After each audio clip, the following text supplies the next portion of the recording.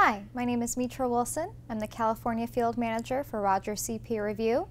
Welcome to the webcast. Today we're going to be talking about California 2014 licensure and why you, what you need to know for success. So let's dive right in. What is this new 2014 licensure? Well, basically, in the near future, it will be required that you have 150 semester units in order to get licensed. Who does this affect? Aspiring CPAs, just like you. And then finally, why is this happening? Well, currently, California is one of two states that is a little behind the times with the rest of the nation. Most states do require at least 150 semester units, some even a master's. Well, California is not requiring the master's, but it'll be nice to be on par with the rest of the nation, and this way there's more reciprocity. So if you move to another state and you want to practice there in the future, it'll be much more flexible. So overall, a really great change. I want to point you to a, a web page on our website all about 2014 licensure. It's www.rogerscpareview.com slash 2014 CPA licensure. Or you can just go to our website and search for 2014 and it should just pop up. What you will find on this page is a countdown clock days remaining until the big change. All the different education requirements will be laid out, licensure requirements, and there's a bunch of great links you can visit that take you to the Cal CPA website, the California Board of Accountancy website, CBA, uh, great forms to use in order to keep yourself organized with figuring out where you are in the process. Definitely check it out. So let me talk a little bit about what the current licensure rules are versus what will happen in the near future. Currently you can be licensed under two different pathways. Pathway 1 means you're licensed just locally in California. Pathway 2 means you're licensed nationally. Now with Pathway 1, all you need is your bachelor's degree and the basic 24 semester units in accounting classes and 24 semester units in business classes. Besides that, you need two years of work experience, so a little more than some of the other pathways, but as long as you have that, you're good. With Pathway 2, what you really need is only one year of work experience under a licensed CPA. However, you need 150 total semester units. Now the extra units, however, beyond your core accounting and business classes in your bachelor's degree can be in anything. You could take yoga, you can take basket weaving, whatever your heart desires, you can take. And currently, it will count. So that's the big difference. Now, in the future, come 2014, there will be no pathways. These two will be obsolete, and everyone will be stuck with the new rules. And the new rules are that you will need 150 semester units. However, the extra 30 will now be specific courses in what they call an accounting study and an ethics study. And I'll get into that in just a second. You'll need one year of work experience, and that's basically the new change. Now, I want to be clear that in order to sit for the CPA exam, all you need is the bachelor's in your core accounting and business classes. Nothing has changed with being able to actually sit for the CPA exam.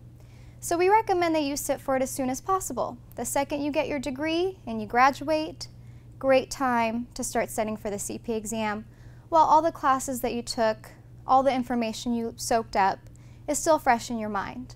In fact, the AICPA and NASBA have done a lot of research on this, and studies show that people who take the exam closer to when they graduated do pass at a faster rate and the first time through compared to those who wait a long time in between. So keep that in mind. You can, you can take the exam early enough and you can always pick up the extra classes later on, maybe through a master's program, through some extra units at your local community college, whatever works best for you.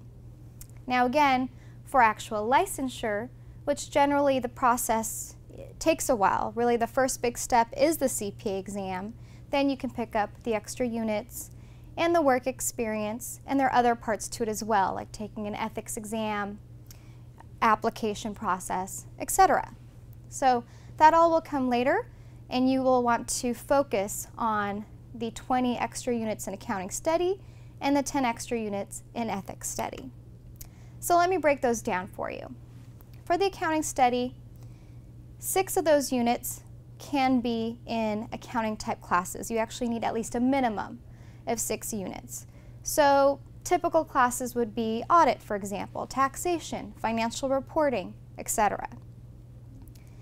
Then you can use up to a max of 14 units in business type classes, such as business administration, business law, etc. Nine units of those under this umbrella of accounting study can be in classes related to accounting or business. And those are broken down further into three categories. First category is skills-based courses. So you can take up to three units in these skills-based courses such as English, communication, journalism, social sciences, natural sciences, classes like that. You can also use up to three units in a foreign language class or an ethnic or cultural studies class. Finally, you can do three units in what's considered a industry-based course. So maybe you took something in engineering, architecture, real estate. Those would be considered industry-based. Finally, you can have up to four units in an internship as long as it's in the accounting or business field. Moving on to the ethics study portion, you can take up to three units in an ethics and accounting course. Now, this course will be mandatory come 2017. It is not mandatory right now, but if your school does offer it, it's a great course to take. You can also take a max of 10 units in courses relating to ethics, such as professional responsibilities, fraud, HR management, organizational behavior, and business law. You can then take up to three units in a philosophy, religion, or theology class. And finally, you can take one unit in a course dedicated to financial statement auditing. Now, a lot of people are considering their master's, and generally a master's in tax, accounting, or business law will cover you for these new rules for CPA licensure. I do want to point out, though, that you have to be careful with double dipping.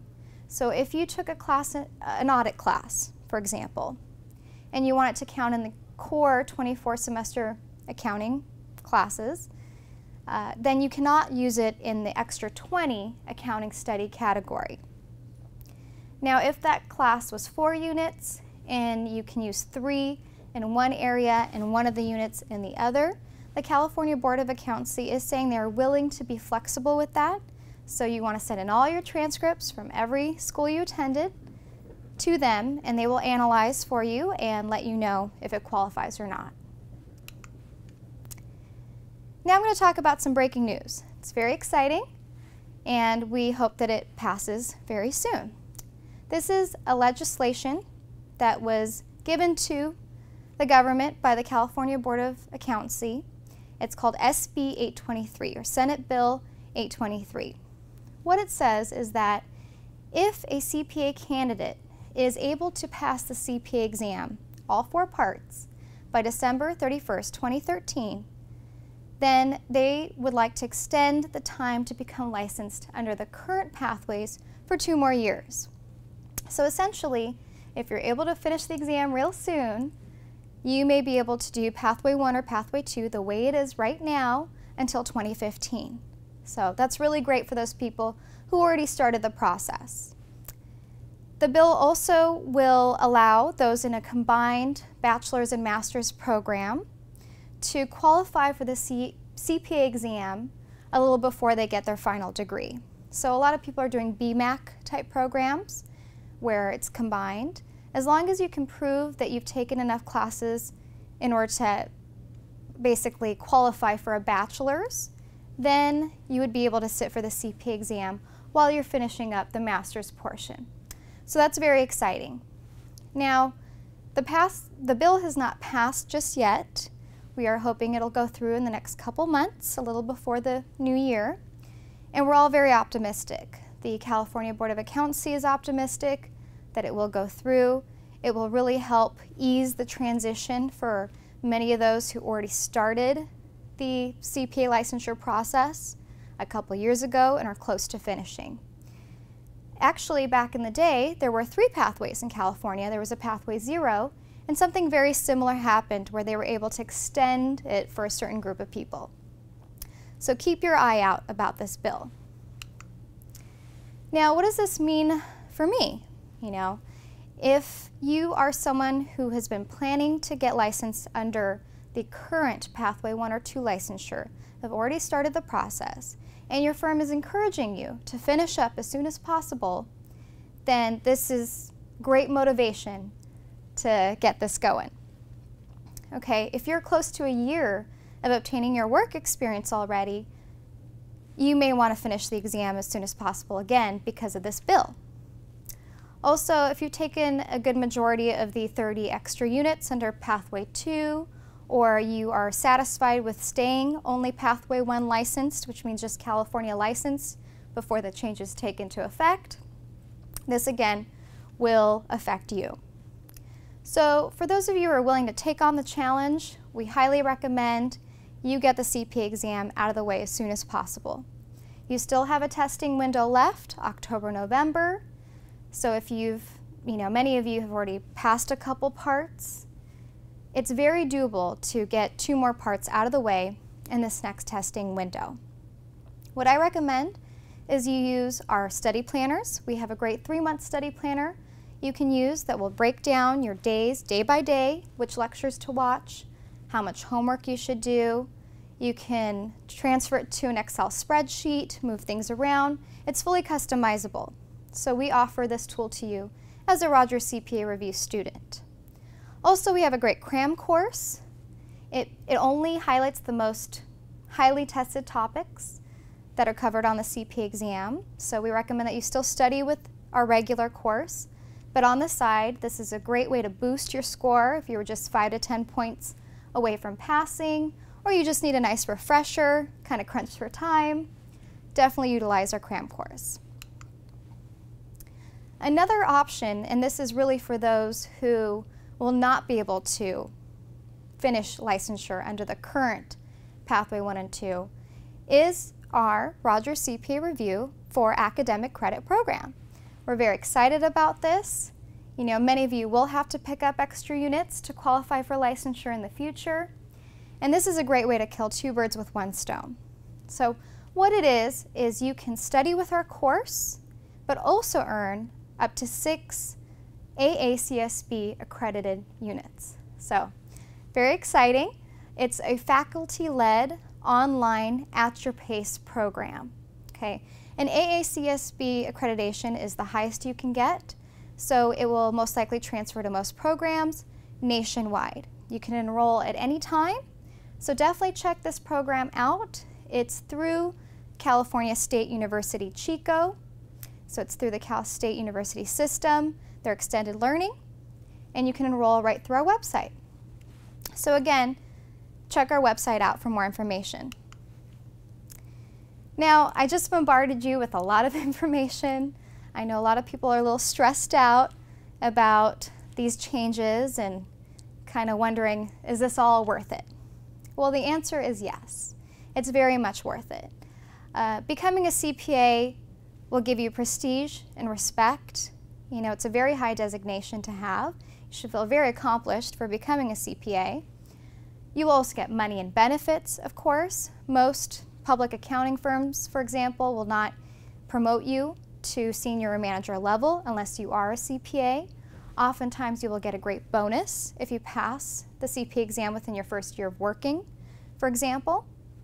So really great benefits that go along with becoming a certified public accountant. Career security, very important. And then finally personal growth. You can you know, do almost anything with with your licensure. You can even have your own business at one point in your own practice. And finally, as we all know, steak tastes better than ramen. So you want to become a CPA. So how do you even apply is the next question. What is the process? Okay, now that you have your bachelor's degree in your core accounting and business classes, You will apply online to the California State Board of Accountancy through their website. It's a $100 application fee. You're going to send in transcripts from every campus you attended. Maybe you transferred from a junior college to a university. Send in everything. Maybe it won't count for the CP exam, but it may count in the future for licensure. You will, the process does take about six to eight weeks for them to approve you, make sure you have everything ready to go.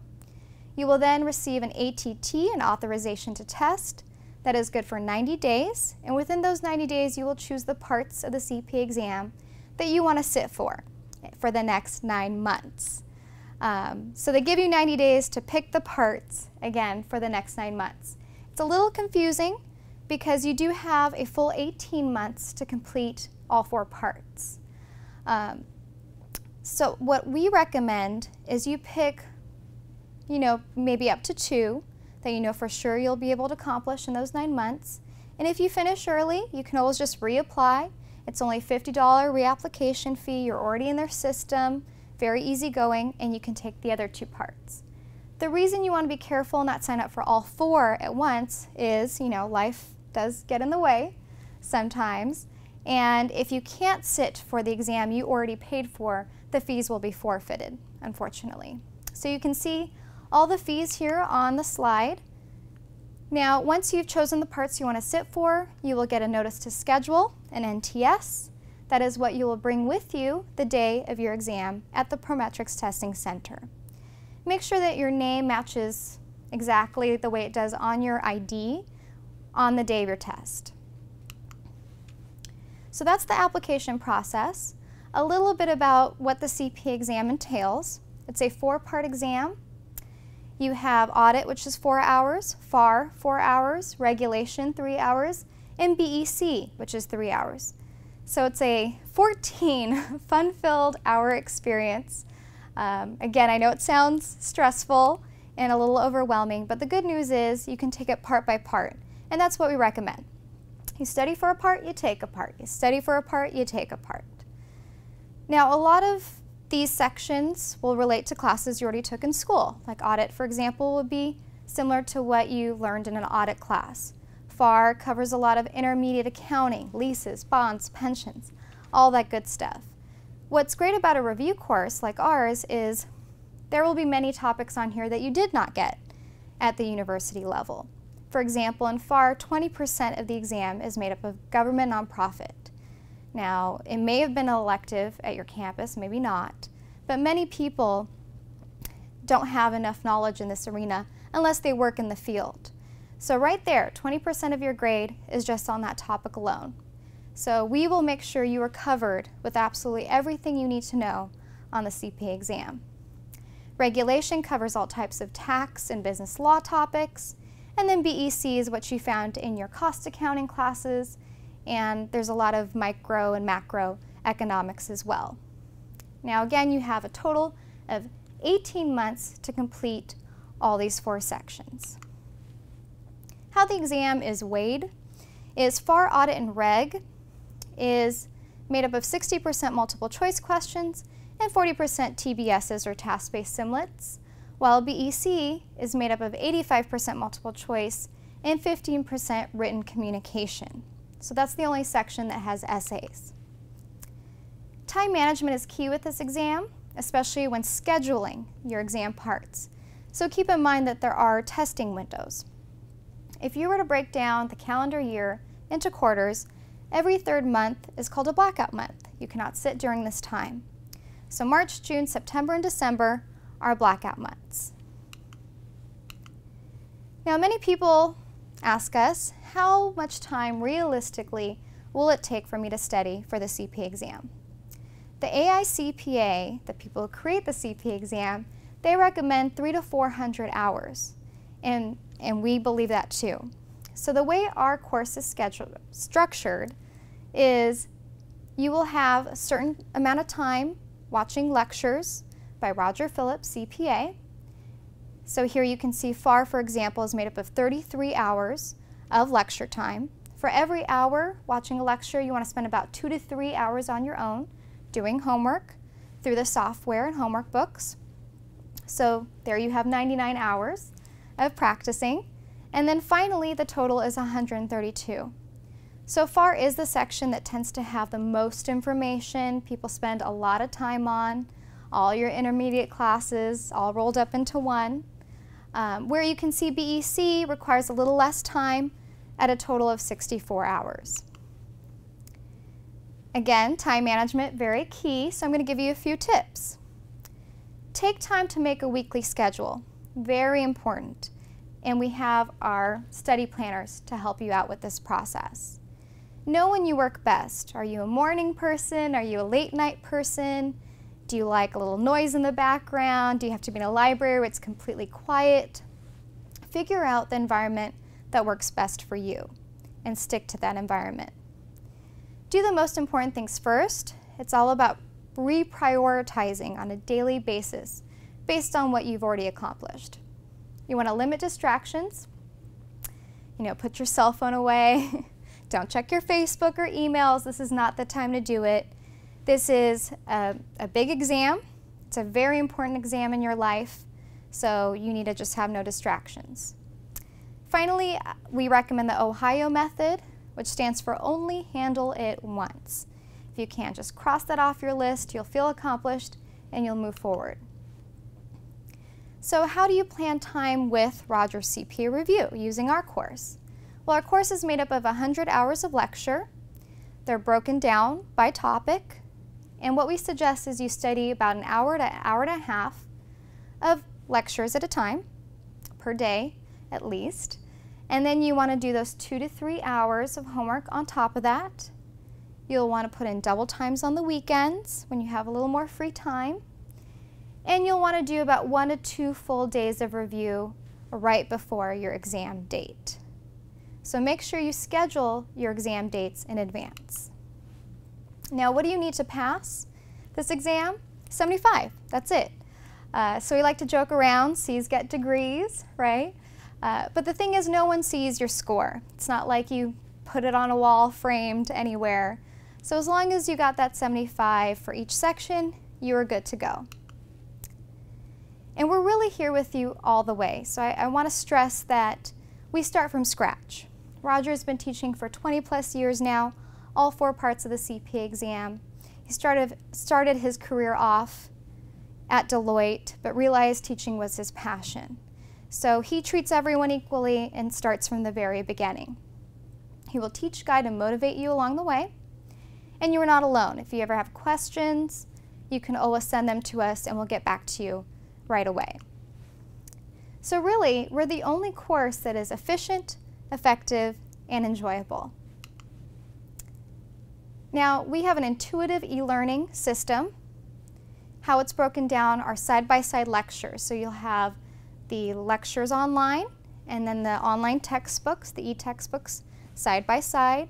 And there are areas to take notes. You can search through your notes. You can do video bookmarking so you can come back to a section later. All types of great tools to utilize. Here's a snapshot of what it looks like. You can see Roger lecturing on the whiteboard, going over the concepts just like you're used to in class, and our textbook on the side. You also do receive physical books and software as well. Here is a snapshot of our Homework Help Center. This is a 24-7 message board where you can ask questions and our team of CPAs will get back to you within 24 hours. The nice thing is there is an archive area that you can search through and see what past students have asked and you're surely to find your answer there talking about study management tools, it is critical to have proper time management, very critical to your success. So again, we have those study planners. We have a study sidekick to give you reminders along the way and remind you of your test date, and course diagnostics. Here's an example of our three-month study planner. It looks a little scary, I'll admit, but many people try and finish the exam before they start working. So if you have a nice summer break, for example, in between, you could totally do the three-month study plan.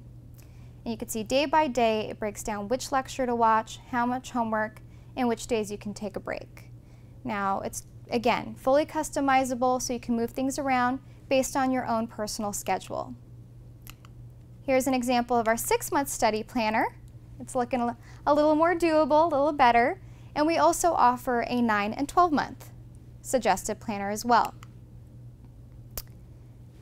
Now here's a snapshot of our online course where you can use our diagnostic tools. You can gauge your understanding along the way. So if you watch a lecture and you feel like, you know, I need to come back a little later and review again, you just give that light bulb icon a couple beams and you're good. If you feel like you've totally mastered the topic, give the light bulb seven rays and you know you don't have to come back to it. So you're constantly gauging your understanding as you go, which is really nice.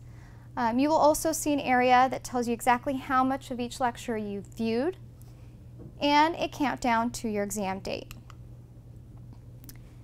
What's great about our course is it's very flexible. A lot of you are working, you're going to school, you have families. There's a lot going on. So you can study anywhere, anytime with the Rogers CPA Review course. You can you know, access it on your iPad, iPhone, Androids, other mobile devices. You have unlimited viewings as well. And if you do need offline access, if you're having trouble getting online, maybe you're an auditor traveling around, then we can offer that to you as well. So accounting can be painless and dare we say enjoyable. It really can, and that's what Roger is an expert at. He has great energy, he'll, he'll keep you motivated the whole time through. Um, you know, we have to admit some of the topics are not the most exciting out there, so we don't want you to fall asleep. Again, our course is broken down into 100 hours of dynamic, focused lectures. Roger uses a lot of great mnemonics and memory aids, special ways to get the information to stick. They are topic-based lectures and bite-sized lessons. It is a classroom setting in an e-learning environment, and you will get materials written by Roger himself and our team of editors. Now, what is the national average pass rate? Many people ask. It's a 48% to pass the CP exam the first time around. 48 doesn't sound so great, it's less than half, unfortunately, but this score is going up every year. And it really includes everyone, those who took a review course, who studied hard, and those who didn't. Now we're very proud of our pass rates of 88%. This means 88 out of 100 of our students passed the first time around all four parts. And we really attribute it to our fully integrated, flexible online system and Roger's expertise. Now for those of you who are taking classes right now, you qualify for our student discount of $15.95. It's a great deal. And in fact, you qualify up to 60 days after graduation. So definitely check that out. Many of you have already started studying for the CPA exam. Maybe you're taking a different review course at the moment and want to try something new. Well, we have a deal for you as well. We have our Fresh Start program where you can get our full course for $12.95 as long as you can prove that you've taken another course. And you can find all this information on our website. We also have great deals with all types of firms, you know, public accounting firms, private companies, governmental agencies. You'll see just a, a small list here of some of the ones we work with. But if you're curious if your company will cover the cost of CP exam and review for you, please ask your HR and recruiter and ask them about us. Finally, here's our contact information. Please give us a call anytime or email us with questions. It's been a pleasure. I hope you enjoyed the webcast and have a nice day.